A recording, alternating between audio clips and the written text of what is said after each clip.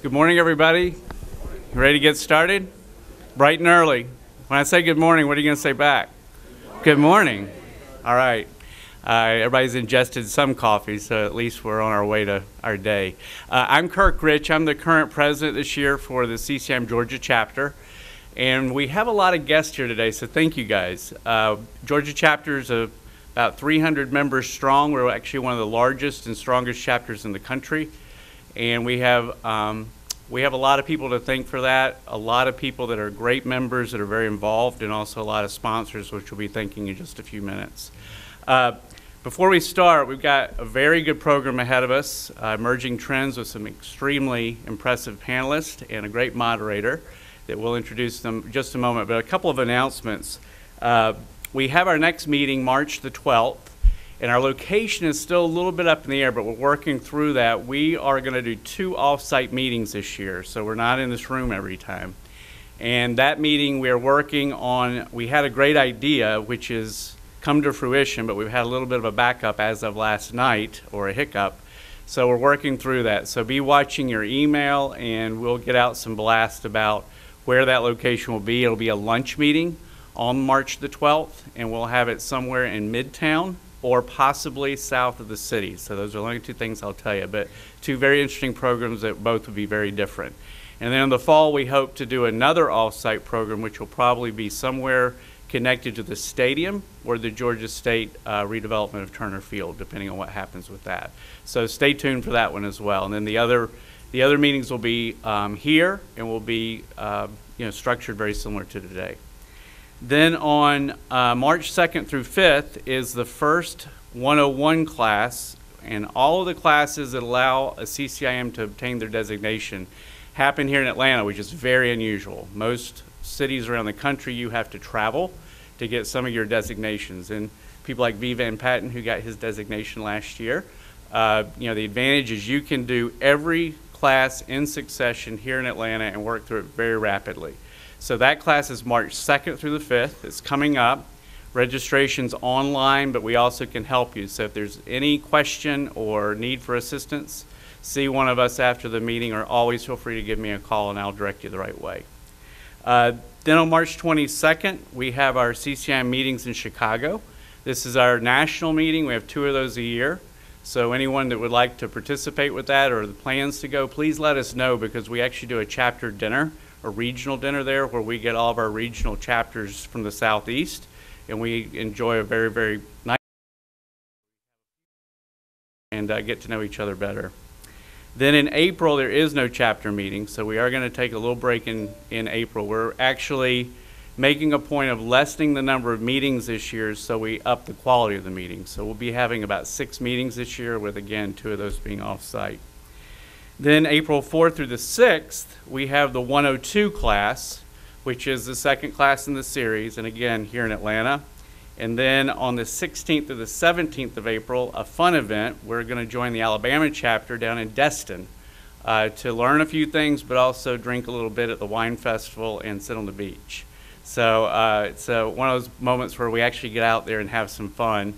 Uh, and hopefully it will be swimsuit weather. We can get out, drink some wine, and hang out on the beach and get to know those people even better. Uh, Alabama has a very good chapter. We're also inviting other regional uh, groups down, so it should be a good time to network with folks in other states and cities. Then in June 11th, we're doing the site to do business training. I know there's been a little bit of an upheaval in our system within CCIM with the mail bridge. Mail bridge was stopped in lieu of upping Site to Do Business, STDB. That um, training will be June the 11th. It'll be a full day, uh, and we will have an email out very, very soon. This just got scheduled two days ago. It'll be at the commercial board building, and we'll send out an email that'll give you all the specifics uh, about that. But I urge you to please come to that because the only way to utilize that properly is to be trained. There's a lot to it. And I think once you go through that training, the, the change of what we've been through in the last year with Mailbridge to that will seem very, very logical. Uh, then we want also, as we pointed out earlier, thank you to the sponsors. The sponsors are what keeps our lifeblood here. Uh, they're the reason you have coffee and bagels in your hands. Uh, so the platinum sponsors this year, thank you to Marcus and Millichap. Bull Realty, The Simpson Company, and Kitchens Kelly Gaines uh, attorneys. Then on our silver sponsors, it's Adams Realtors, Build Right, Commercial Real Estate Show, Commercial Experts Incorporated, First Colony Financial Corp., National Property Inspectors, Standard Landscape, Stout, Kaiser and Hendrick LLP, Strategic Exchange Advisors, Signature Bank of Georgia, and Excelligent. So thank you very, very much to those guys. Now, let's get to the program. So today is about emerging trends, and we have a um, very good panel. Several of them are my friends, and then Sarah, who is the executive director of ULI, uh, is going to be our moderator. So, Sarah, you ready to do it? Great.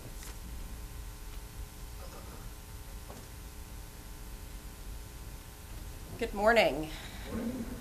Thank you all for having me. Um, I'm going to start by bringing up our terrific panel. Um, while they get situated, I will give some brief introductions. You probably know a couple of these folks. Um, really terrific group of talent to talk about not only emerging trends, but what they're seeing here in Atlanta, across the country, and as you'll hear, um, across the globe as trends may be impacting us in, uh, in the real estate sector and in the broader economy. Um, first is, is, Chris Hall. Chris is a senior vice president with Haddow and Company, um, a longstanding Atlanta firm that many of you are probably familiar with. Uh, Chris is a, has been there since 2002 and is a graduate of Kenyon College, holds his master's in real estate and urban planning. Um, and I got to know Chris through ULI. We served on the technical advisory panels committee. And then I see him mostly around the neighborhood, um, either running or riding his bike. We live in the, the same part of town, so, um, so you can, can look for Chris out on the roads. Um, next to Chris is Dr. Eloisa Klementich. Uh, Dr. Klementich is the Director of Business Development with Invest Atlanta. She joined Invest Atlanta in 2011 and has really a phenomenal background working in economic development at the national level as well as in the state of California for Governor Schwarzenegger, um, and really just fascinating experience that she's brought to uh, to the Atlanta economy. Um, she has recently returned from India just on Saturday, where she was. Well, we'll hear a little bit more about that, but looking at um, the economy and the and the, the impacts, and and really also from an individual's perspective. Um, I was telling Dr. Klementich that I've kept up with her on LinkedIn and on Twitter, um, and was really impressed. And, and I hope I have this right uh, the role she played in the repositioning of the Flatiron building downtown, and the Microsoft and the women's entrepreneurial um, space that's going in, and just bringing terrific new life to, to that space. Um, and next to Dr. Klementich is David Laube. David is a principal with Noell Consulting Group, where he has been for six years almost. Um, and David uh, does market, financial, highest and best use type work. Um, he brings to that experience he has one from the private sector. Prior to Noell Consulting, he worked with Morseberger Group. Um, you may be familiar with Morseberger originally was going to be the developer of what is now Ponce City Market. Um, so he worked on that in its prior incarnation as well as interesting infill projects around town, downtown Lawrenceville, and so forth. And prior to that, David and I worked together for maybe five years at Robert Charles Lesser and Company. So um, terrific group of panel uh, panelists, and we look forward to hearing from them. I thought I'd start with um, maybe just providing a framework for the emerging trends. My background is similar to two of these folks in that I spent a lot of my career doing market financial, financial feasibility for real estate development. Um, and one of my favorite publications every year um, was ULI's Emerging Trends in Real Estate. And it was, you know, if, if you love numbers and if you love analysis and if you're one of those people who gets really excited about those sorts of things, um, this I think is one of the greatest resources to sort of be forward looking about what's, what's coming down the pike. Um, how our economy is positioned relative to other economies. Um, and this year it was expanded. So, Emerging Trends was um, conducted with over 360 in-depth interviews with real estate CEOs, folks from the capital markets sector, and then over a thousand surveys from across the country um, so that they could really dig into what's going on. Um, and what people see as the, the issues and opportunities going forward. So I thought I'd share, like any good, you know, publication, it's sort of a top 10 list. Um, so to kick us off, I thought I'd share what was identified as the emerging trends for 2015 by ULI National. Um, I will not do it David Letterman style and start at the bottom. I'll start with number one um, because we won't go through all of them. But the number one trend that ULI has identified is the 18 hour city comes of age. So, so what does that mean? Um, 20 years ago, ULI said you know, capital investment is going to be in 24-hour cities. Those are the, you know, international gateways. It's Miami, it's New York, it's San Francisco, it's Los Angeles. And then a few years ago, you heard them start talking about the 18-hour city. Um, I started thinking, I wonder what hours that actually is. Is it 6 a.m. to midnight? Is it 7 a.m. to 1 a.m.? But um, you know, it's places that have life that aren't just nine to five, um, and that have that vibrancy. Not 24 hours a day, one of my colleagues said, you know, you can define a 24-hour city by if you're looking for some obscure beauty product at three in the morning, you can go buy it. Maybe you can't do that in an 18-hour city, but you can probably get it up until about midnight. Um, and and and what's interesting is in looking at where there's appetite for investment, there are about five cities that jump into the top 10, maybe top 11 uh, list that haven't been there before, and they're all what you would call 18-hour cities. It's Austin, it's Charlotte, it's Denver, it's Raleigh Durham, and at 11 is Atlanta. Um, Atlanta went from sort of being well down the list in the lower 20s to up to 11 um, for investment in 2015, which is which is really encouraging. Um, and that's also based on the data. It's based on job creation in the city where the metro takes its name, so City of Atlanta, City of Denver, um, technology growth, population growth, and then you know how each sector is performing. Um, so that's number one, the 18, 18 hour city comes of age. Number two is the changing age game. So you can open any paper and hear about the impact of the millennials. Um, we've all spent our entire careers following the baby boomers and the pig and the python as it is, as it's going through the um, going through the buying life cycle. But you know, we are reaching a point that there are more millennials than there are of their baby boomer parents, and and there was some thought that maybe that group had sort of peaked and we weren't going to see as much impact uh, in the multifamily sector. But you know, the, the most of the analysis shows that that impact has really yet to be felt and that that's going to be a significant impact in 2015 and in the coming years. I'll touch on you know three more of the top 10. Um, the one that took me by greatest surprise, um, labor markets are trending toward a tipping point. We are two to three years away from a labor shortage in this country, if you follow historical patterns, which feels shocking compared to where we've been, right? Um, you know, how could we possibly be in a labor shortage? We're already in a skilled labor shortage, um, skilled labor labor shortage, um, but we are two to three years from an actual labor shortage. So the conclusion from that is that jobs are going to be increasingly chasing people opposed to people chasing jobs, right? Simple supply and demand. Um, real estate's love hate relationship with technology is going to intensify. And really, um, you know, real estate, conventional wisdom is we've been slow to adapt and adopt new technologies. Um, the line here from emerging trends is, uh, is love it or lose out. When you look at the impact it's having in the industrial sector, uh, the retail sector with same day delivery, uh, when you're looking at co-working office space and, and the impact it's having there. And even, you know, I was talking to a developer in, I believe it was in DC, who said even the impact they're having to think of in designing their multifamily properties for space to deliver large packages because people are in this sort of constant buying, you know, Amazon Prime mode and, and, and how all of that's going to ripple through the whole system. Event risk is here to stay. Um, everyone's sort of pricing in an assumption that we're going to have unanticipated major events that will impact the markets. Um, and then I'll skip down to what is number eight, uh, infrastructure, time for the U.S. to get serious, question mark. Um, and you can follow all of the, the writings recently about how we're thinking about tackling that here in Georgia, but really it being a, a broad issue across the country that we've been underfunding our infrastructure. When people were asked, you know, what types of infrastructure do you mean? It was roads and bridges, it was transit. I mean, it, it was all transportation related infrastructure that, that's the greatest concern of a, of a risk to our sector. Um, and then finally, keep an eye on the bubble. Uh, that's number 10. You know, folks are, are cautiously optimistic, uh, sustaining momentum, but taking nothing for granted, right? We've, we've all come out of a tough sector of, of the, the cycle, and, and folks are feeling encouraged, but, but are taking nothing for granted. Um, so that's a highlight of the emerging trends. If, if you're like me and you love to dig in and see how Atlanta ranks on every single property type, and um, if you want to dig into some of these trends, you can actually access this online. Just Google Emerging Trends 2015 and, and you can pull up the PDF, but I have a couple here if anyone would like one as well. Um, so with that, let's turn it over to our panelists. Um, Dr. Klementich, you've just returned from India.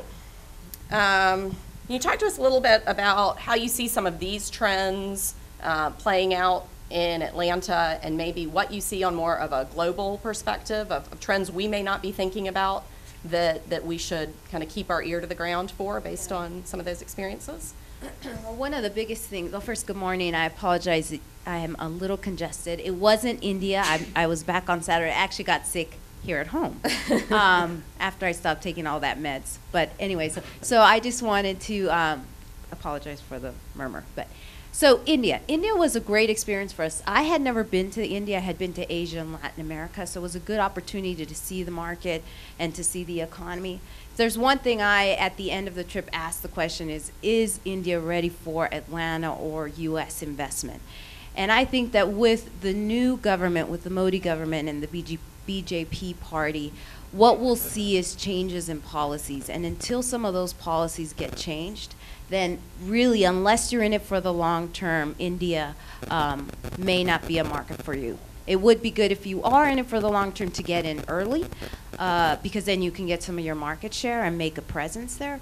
But if not, then it's not going to be a go in, get get rich quick kind of market. They have several laws. For example, one on the book, which I was surprised on, is if you're a company and you go to India and you invest and make millions of dollars, you cannot take that money out of the Indian market. It needs to stay there.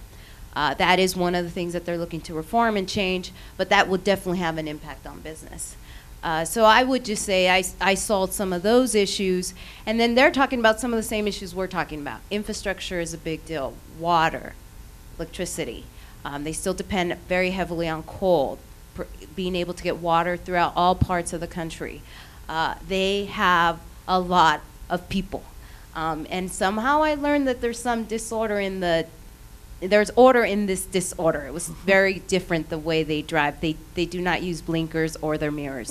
Um, but but those were interesting things that I learned. Excellent. Um, so in real estate, you know, you, some folks and in, in all consumer products, folks will say, you know, it's all about demographics. You follow the demographics and, and you know what the demand is, you know what the opportunities are. We talked about the changing age game as being um, sort of trend number two. And you know, maybe starting back in the fall, we started seeing some articles. I think one was in the New York Times um, that said Atlanta isn't as attractive to recent college graduates as it used to be. Um, I saw one maybe yesterday that said we're number one for college graduates. So you know, I'm, I'm not sure sure what the truth is, but I just maybe starting with David and working down. You know, what's your perspective on how well we're competing for that demographic, and if we do have some issues, what do you think um, in the real estate sector we need to be doing to to better attract that group? That's key to our economic future. Yeah, I think it's a very interesting topic with the market research work that my firm does.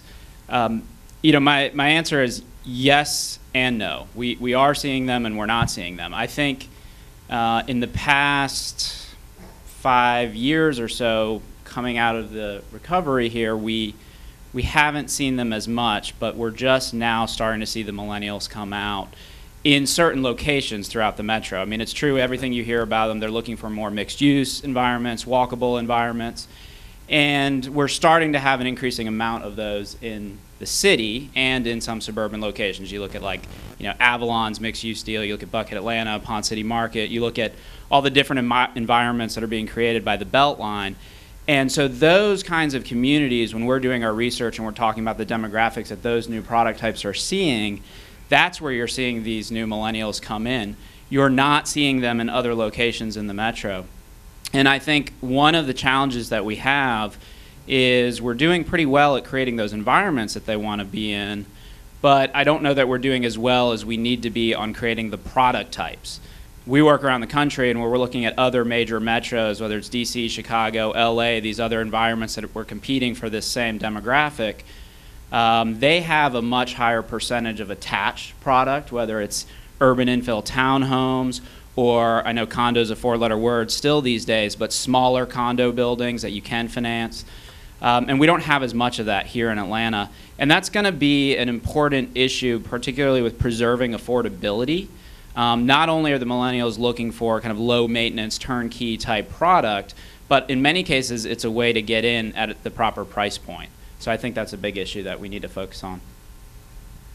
You know, um, ARC just released a study was done by Burning Glass, and what it does is it looks at how many postings, actual job postings in certain areas, and you see from 2007 to 2013, there's an 83% increase in postings in Atlanta, and this is twice the national average. And so we see that there's a big interest in attracting these type of millennials. And then you look at what jobs or what clusters the biggest ones are. Inter- internet secur- security, wireless mobility, health IT software, with the two biggest areas being digital media gaming, with over 24,000 postings in 2013 alone, and software development with over 22,000 postings. Now, why do I say that? Here in this group, who thinks that Java is more than just coffee? like, who knows Java, really? Do you, you guys know Java? Oh, wow, I'm impressed. How about Oracle? SQL?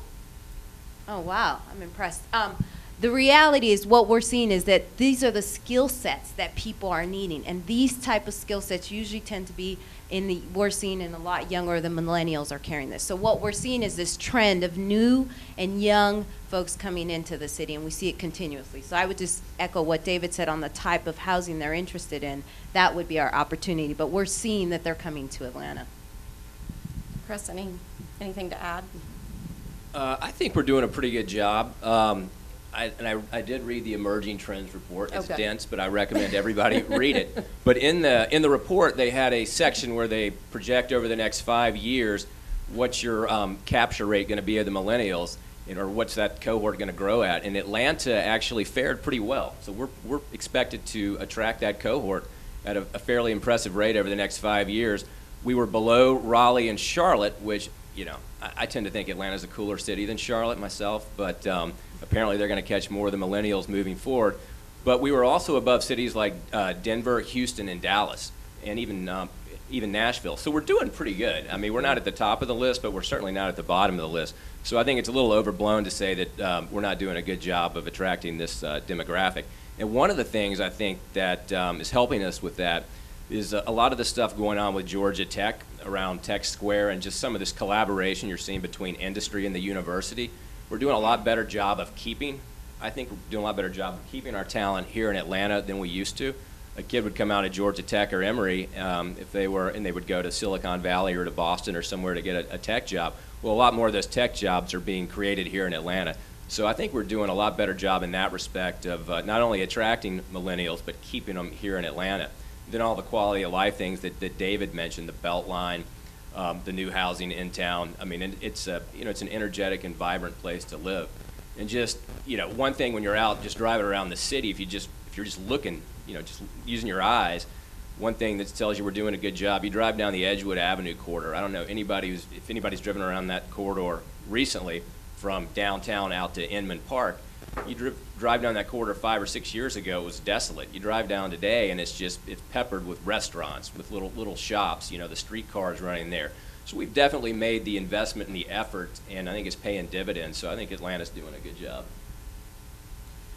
So one, another thing that surprised me in this report is, you know, when they survey the 1,500 folks across the country, you end up with this ranking of how each market is doing by, by property sector. And Atlanta ranked highest for single-family development of all of the property sectors. That's not one that we're hearing a lot about, right? We hear a lot about, you know, are we overbuilding multifamily? Is there demand for office in this submarket or that submarket? You know, Chris, you've been doing some work in the ownership sector, whether it be condo or single family. Tell us a little bit about where you see us in that cycle and, and what you think the opportunities are. Well, we had nowhere to go but up in the single-family sector. Um, you know, so one stat that I like that we use in our work is over the last six years, we've permitted about 9,000 single-family units per year. The previous six years, we were doing about 51,000 single-family units per year. So we're moving forward at a much more measured pace, which I think is good. We're seeing, you know, home price appreciation. If you look at the Case-Shiller data, home prices are going up. It's actually started to, the rate of increase has started to slow down, but they're still going up. But it's very uneven across the metro area. For example, we were just doing some work up in Johns Creek, and up there you can't find you can't find uh, land. Developed lots are selling for one hundred and um, you know it's just a very tight market. Builders are trying to find developed lots, and there's just not a lot of them. Contrast that with South Fulton County, where we're doing some work. It's still an investor market. People are going in buying developed lots for ten thousand dollars, a fully developed lot, and um, there's not a whole lot of new home construction going on. And again, it still hasn't it hasn't gravitated to that area yet. You know, areas like East Cobb, uh, South Forsyth. I mean, the residential market is back in those areas, but you go to some areas of South Fulton, you go out 20 to Rockdale to Newton County, you still got tons of inventory of developed lots, which um, you know, it's going to take some a long time to work through. So it's a while the single-family market's recovering, it's a little bit of an uneven recovery. On the condominium side or the in, the in-town market, we all know in-town townhomes are hot. I mean, people are jockeying for land. You know, groups like Pulte are going out and assembling, you know, 12 single-family homes, knocking them down and developing back with townhomes. Um, so the, the in-town condominium market is very healthy. On the condo side, which uh, we do a fair amount of work in, people are talking about doing projects, but as David alluded to, it's, it's difficult to get them financed. Um, so where we see the opportunities on the condo side is in um, you know smaller 60 to 80 unit buildings um, that, and you've really got to underwrite them as either rentals or condominiums. Um, that's what lenders are requiring. But uh, it's just tough to get a condo development off the ground. But I do think there's opportunities for smaller condo buildings and niche buildings. We're probably not going to go back to what we were seeing last decade when you're seeing these projects like Metropolis, Realm, and Eclipse, these 300 unit buildings. That's probably not going to, that's not going to lead the recovery in the, in the condominium sector now. It's going to be these smaller infill niche buildings. David, anything to add based on, you're doing some work in the, the condo sector? Yeah, I was just going to add. Um, I think uh, Chris is absolutely right. I mean, it's it's difficult to finance these, and so I think some of the requirements that are being put now on condo deals, particularly around the pre-sale requirement, if you're going to get a lender to even talk to you about this, it's going to require the Atlanta market to sort of shift how we've been dealing with condos. In the past, we haven't been much of a pre-sale market. You can go to other cities like Toronto, for example, and 50% of their sales are in the pre-sale condition. So developers and builders have learned that they have to spend a lot more upfront in their marketing, build out of a sales center, building out a full model unit to really prove what that experience is going to be like to the buyer and get them comfortable with that pre-sale uh, condition. And I think we're going to have to see a lot more of that if people are going to get condo products through. So shifting to economic competitiveness, we talked a little bit about infrastructure, um, but curious, Dr. Klementich, what you see as our most critical infrastructure needs from an economic competitiveness perspective, and how optimistic you are that we can begin to address those in 2015.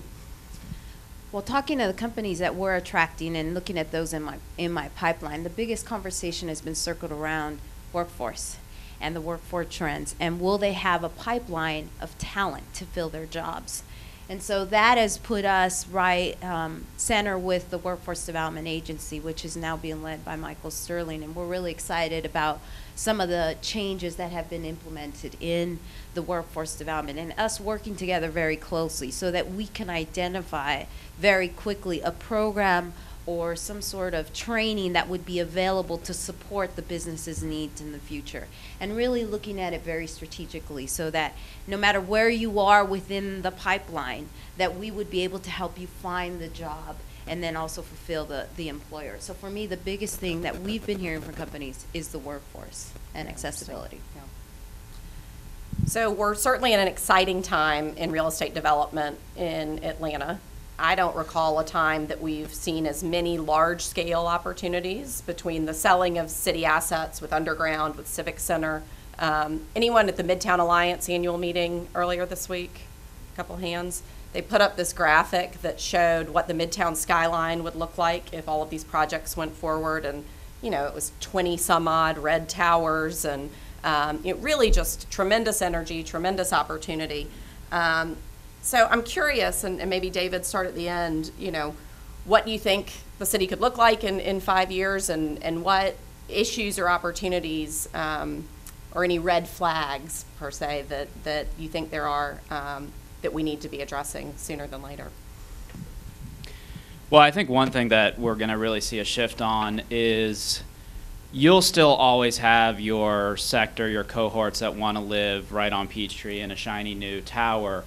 But I think, particularly with the millennials, we're seeing that focus on more kind of walkable neighborhood settings. And I think that's what's igniting a lot more development in areas like Inman Park, Old Fourth Ward, Midtown West, and starting to get more of that kind of neighborhood base. And I think, again, Beltline, I think, is helping to drive that. And you're going to see that open up some other pockets of the city that historically haven't seen that.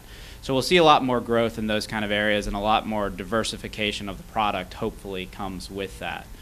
Um, I think um, you know one of the challenges that we have along with that is Atlanta's history of kind of NIMBYism, and we have to get everyone to understand why density in the appropriate places is a good thing, and why it's important to attracting the millennials and building the workforce for Eloisa to go out and recruit these firms. So I think that's a, a big thing we have to be careful about, and as a region, start to embrace and understand better.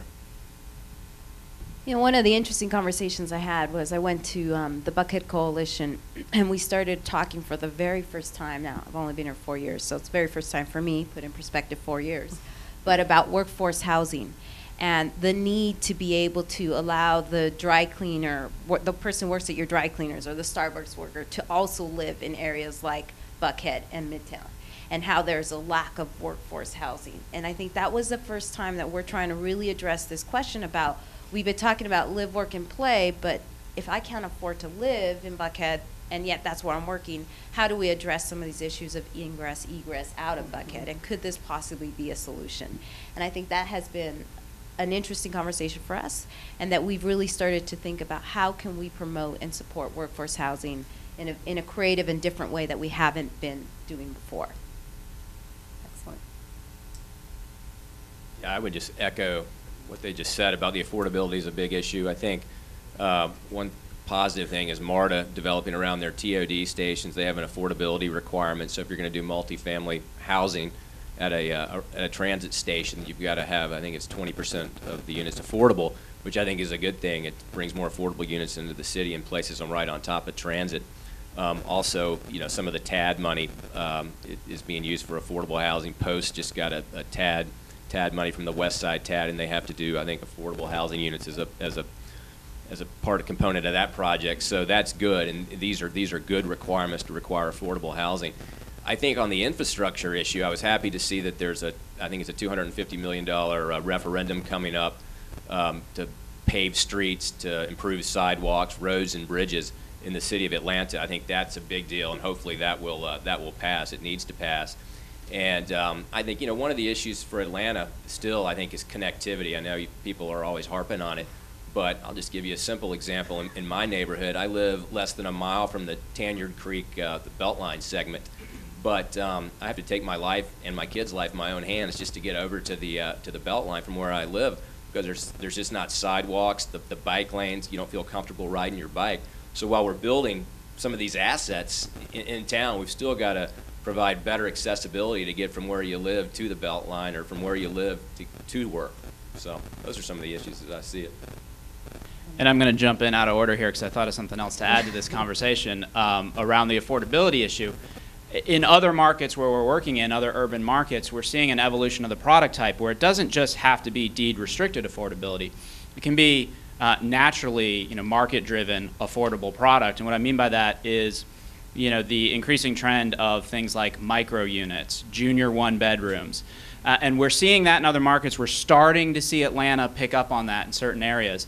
You know, we're doing micro units that are 300 square feet, and there's actually, believe it or not, examples of that in Atlanta now that have done very well. Um, we're doing two bedroom units that are 800 square feet instead of the historic, oh, it's got to be 1,200 square feet.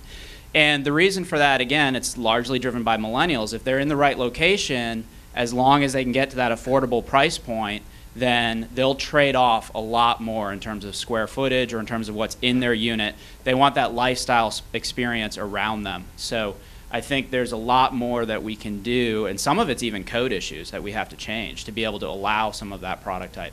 It goes with townhomes too. I mean, we do, you know, 16 foot and 15 foot wide townhomes in other cities. We don't have that in Atlanta hardly at all. So more of that product to, to get that affordable price point.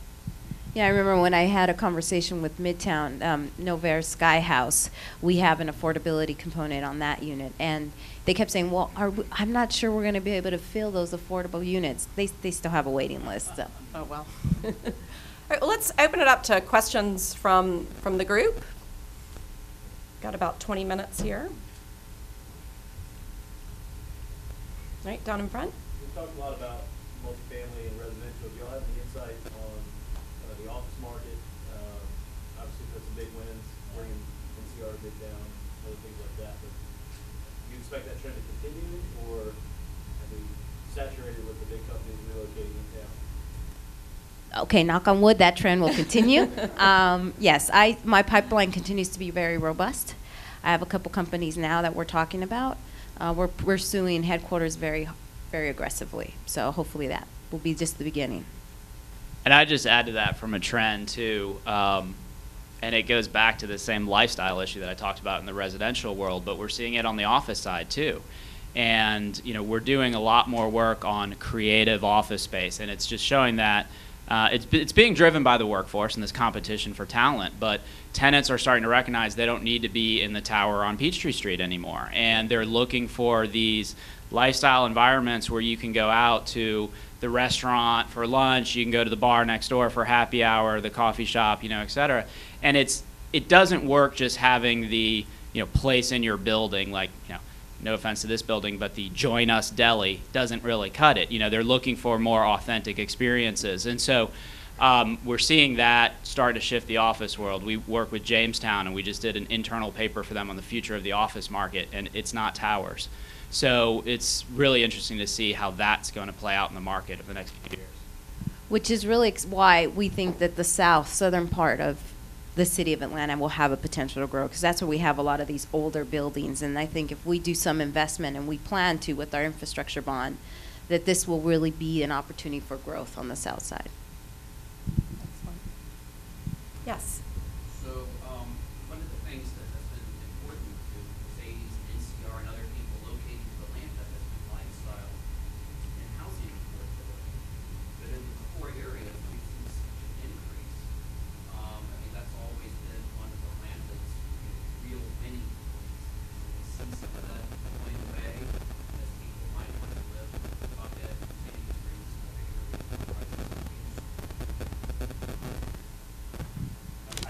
Housing affordability, you look at the emerging trends, and Atlanta's very affordable, like you say, at a, at a broad metro level.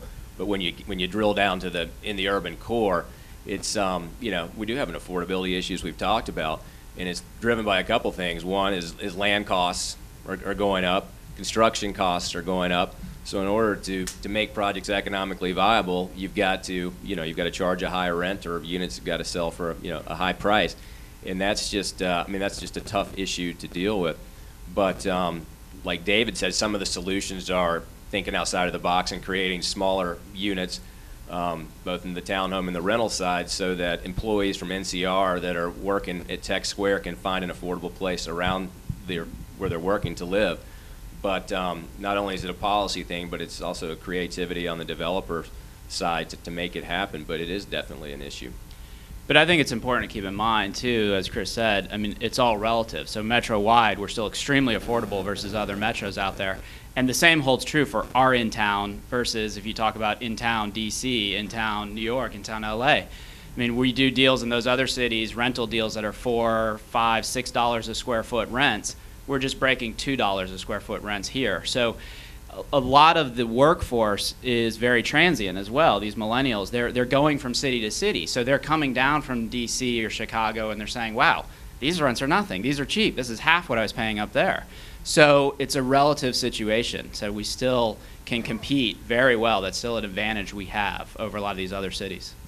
And I would say that we also have a, a variety of different um, projects. So if you guys are familiar with T Square, which is a new one right by Georgia Tech, this is going to be, we deemed it the dorm incubator, where really you're going to be able to live, and but it will also be your incubator in the same location. There's only three other of these in the nation. Stanford, Florida, and us. And so we're really excited about what that will draw as well. So looking at specifically targeting the millennials into what they like and being able to live, work, and play all in the same unit and not even have to leave your the place you live to be able to have your startup.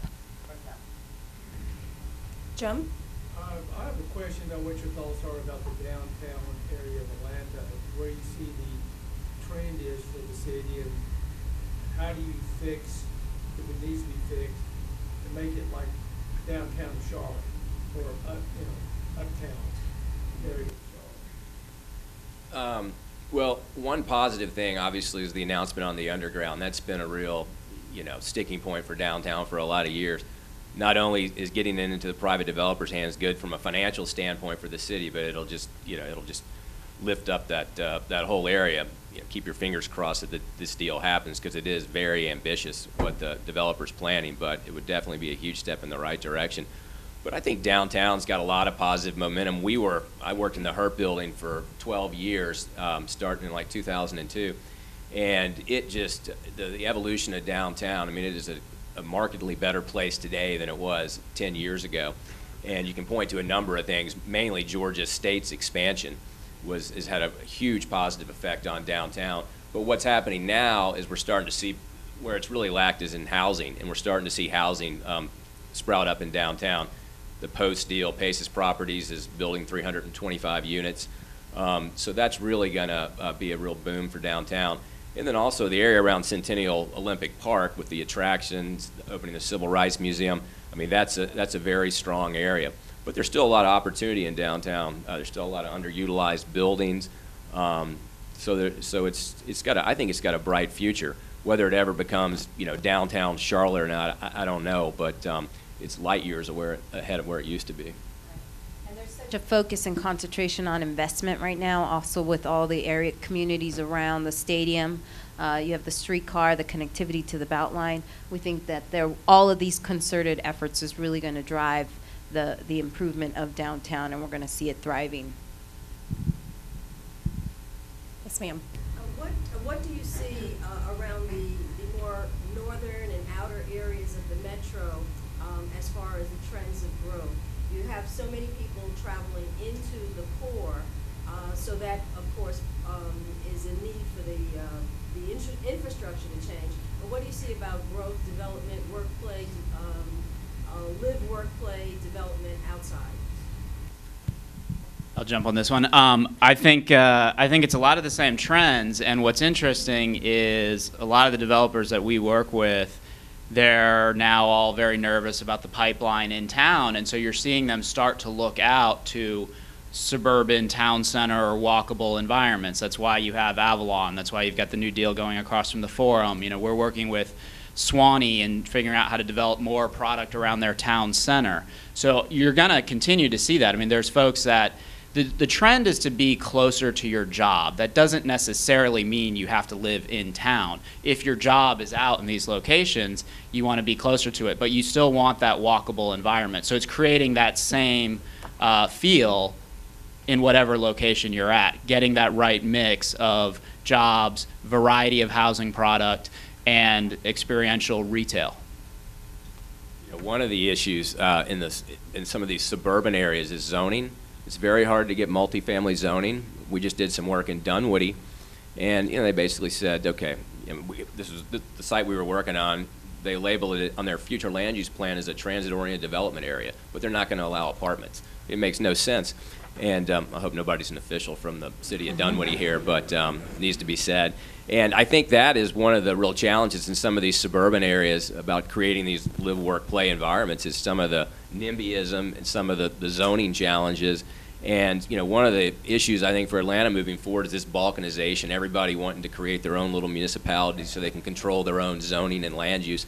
That I think is, uh, I think that's a, a negative trend. And um, so I I think the zoning challenges in these suburban areas is one that needs to be sort of addressed at a regional level. Yes. Just a quick question for the doctor. Uh, Underground Atlanta's kind of grabbed the headlines, you know, for the redevelopment of Atlanta. What's going on with the Civic Center, you know, repurposing that property? What's, what's the latest on that? So what we've done with Civic Center is the prices that we received on the three bids that we, well, the, the bids that we got, the three bids we received, the prices was not as high as we wanted it to be. So now we've gone back out and asked them to, the three companies that have bid to rethink or reanalyze whether this is their final offer. And so we're currently in that process right now. Now, based on the numbers, can you share kind of the vision that the different groups had for the site? Are you allowed to do that? Well, no, I don't think I can, but they're, um, because we're still in the bidding process, I don't want to mess it up. Uh, so probably can't get into specifics, but they, they range from focusing on, uh, movies and theater and new, new sites for auditoriums and apartments and. Sorry, I can't be more specific. Then they'll come back and, I'm on tape, remember? So I was just referencing sort of ULI provides five best bets for 2015. Number five was don't give up on the suburbs, differentiate between the good, the bad, and the ugly. Um, and the first sentence says a lot of interviewees say the, the urbanization trend is oversubscribed, and there's so much more opportunity to rediscover opportunities in the suburbs. And you know that just speaks to um, you know a lot of trends that I think think we're seeing uh, throughout the suburbs of Atlanta. Um, but I was laughing that number four, I don't think I've ever seen ULI be this direct. It says, develop industrial. Two words, right? Um, fourth quarter was the most robust industrial absorption in Atlanta's history. Do I have that right? Um, you know, David, maybe just come down the line. What, what do you see as sort of trends in that space? You know, the impact of uh, the Savannah Harbor expansion and, and what we should be looking for in the next few years in, in industrial. I'm, I'm not a huge industrial guy, so I don't know how much I can add to this, but I do know from work that we've been doing with the Beltline, there's a big focus on urban manufacturing, but also the sort of um, last mile transportation logistics, and there's huge demand and opportunity for that if we can find the right locations. And I think there's a lot of areas in the south side of the city that still have pretty strong infrastructure connection to, to 75, 85 and you're going to see a, a, big focus on that for job growth in the city. It's it's not just all white collar jobs. There's huge opportunities there as well. So for the, we've seen a lot of activity. We have two locations in particular: Southside Industrial Park and the Atlanta Industrial Park, and we've been getting a lot more interest into those locations. And this advanced manufacturing is what they're calling. It's a very much more. It's not It's not labor intensive, but more high high technology, um, taking advantage of the last mile proximity to the airport is crucial. And so we've been seeing a lot of interest in there. And we, we have been supporting that because it, they do require the jobs that they do hire are skilled or trained jobs. Doesn't necessarily mean that you need to have a bachelor's degree. And so this is important for the health of our economy as well. Um, I don't have a whole lot to add, but I just think, I think in 2014 we absorbed like I've, I've read figures anywhere from 17 to 20 million square feet of um, industrial space, which is the best year since like 1998 in Metro Atlanta. And you know we have all the inherent advantages from an industrial standpoint in the southeast in terms of transportation and Hartsfield. Um, so I think that's going to be a real strength of our economy moving forward. And you look at the development activity, um, you know, it was all in the multifamily sector. Now you're starting to see spec office uh, development the industrial side, there's just a, a, lot of development activity going on, not just build to suits, but speculative um, development. So I just think that that's going to be one of Atlanta's uh, real strengths moving forward in the next five years is on the industrial side. Yes. Uh, on that note, as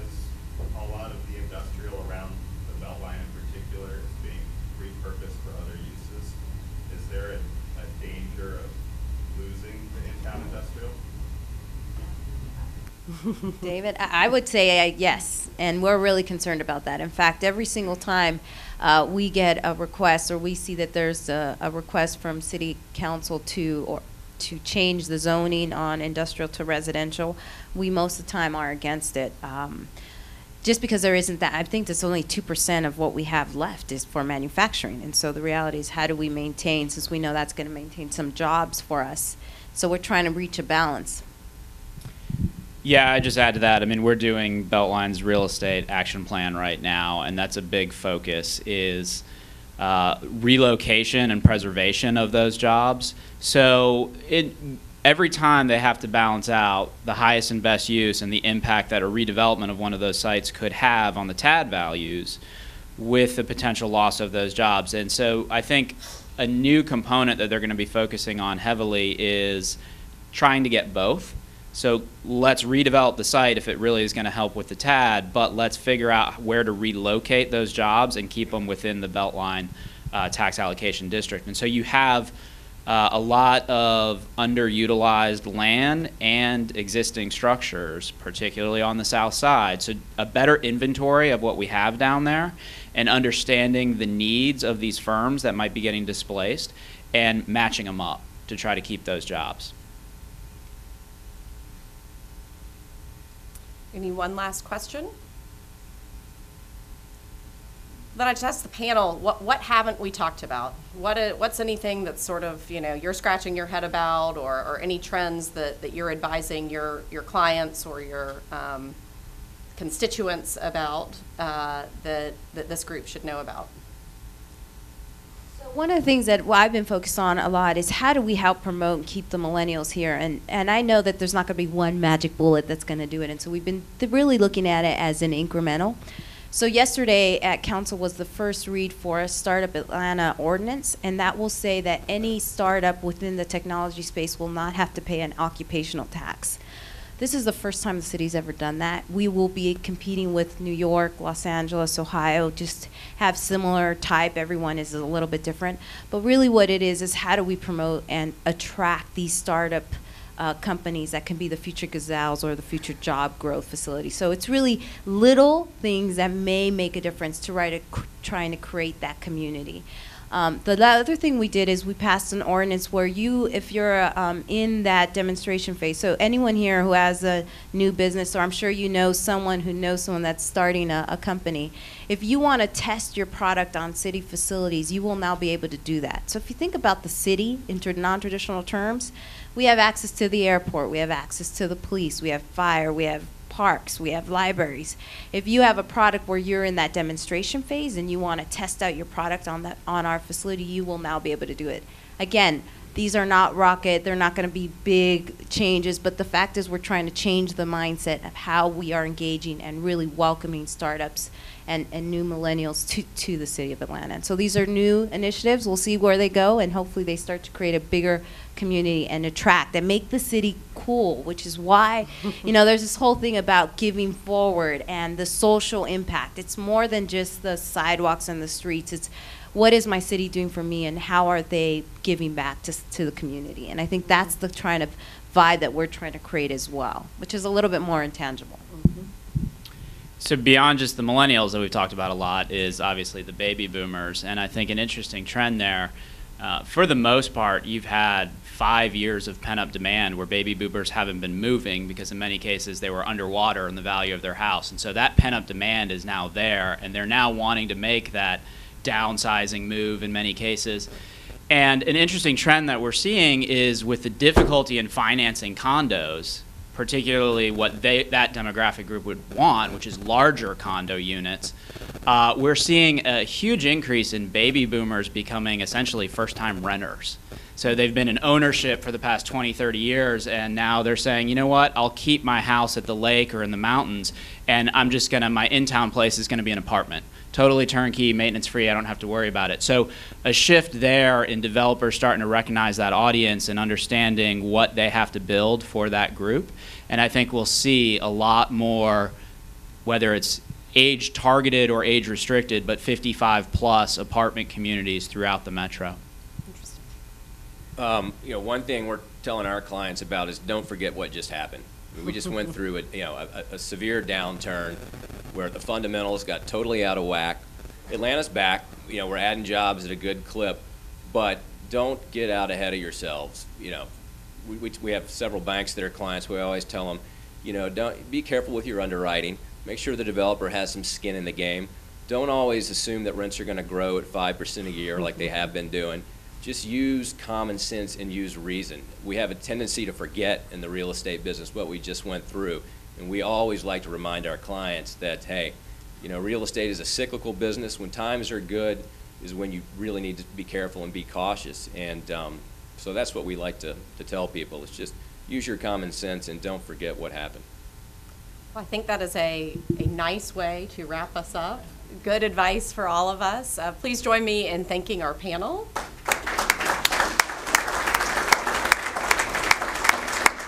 Um, thank you for having us. It was, it was great to be with you all. Um, I'll do a little plug for a couple ULI programs coming up. We're going to be looking at the impact between urban investment and public education. Um, it'll be March 18th at the new North Atlanta High School. So sort of a different aspect of how education impacts real estate. And then in April, we'll be doing a joint program with AIA, uh, Good Design is Good Business. Um, so how architecture impacts returns and, and uh, where there are evidence of uh, design really having a contribution to the bottom line. So hope you can join us. Thanks for having us.